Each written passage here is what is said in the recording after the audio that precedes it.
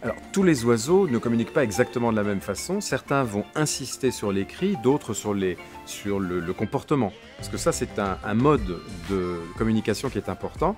Un oiseau est capable de montrer son humeur en fonction de la position qu'il va adopter.